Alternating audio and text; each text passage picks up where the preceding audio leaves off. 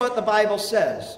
In John chapter 4, verse 10, we begin to see Jesus answered and said unto her, If thou knewest the gift of God, and who it is that saith to thee, Give me to drink, thou wouldst have asked him, and he would have given thee living water.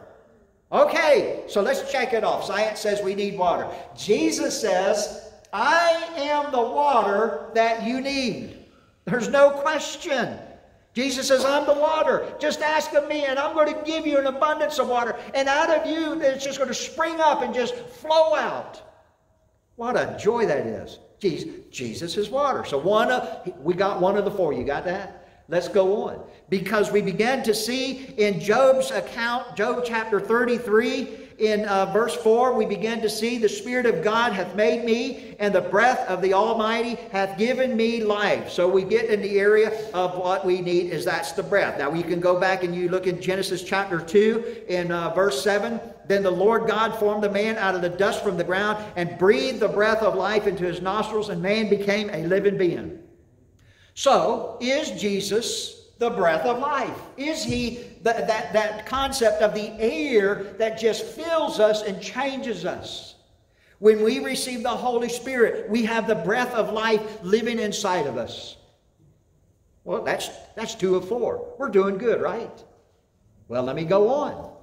Number three in the concept John chapter 6, verse 35, the Bible begins to say to us uh, an understanding. Now I'm going to look at verse 35, verse 48, verse 51, because all of this begins to identify to us the concept that Jesus is the bread of life. Now, as I'm, I'm reading this, you begin to understand. Jesus said unto them, I, singular, I am the bread of life.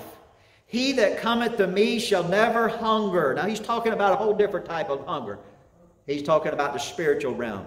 He says that if you will come to me, you shall never hunger, and he that believeth on me shall never thirst. So we have the water listed here, and we have uh, the, the fact of the bread of life. Number, uh, yeah, verse 48. I am the bread of life. He identifies this. I am the bread of life. I am the bread of life. Verse 51 I am the living bread which came down from heaven. If any man eat of this bread, he shall live forever. And the bread that I will give is my flesh, which I will give for the life of the world. That's what Jesus does.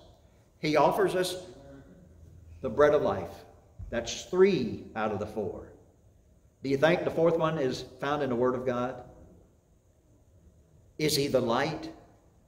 Jesus says in John chapter 9, in verse 5, As long as I am in the world, I am the light of the world. But let me, let me go on to, to uh, acknowledge to you.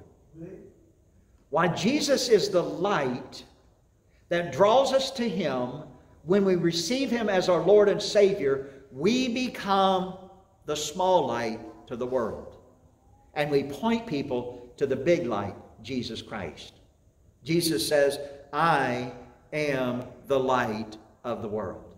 Is that true?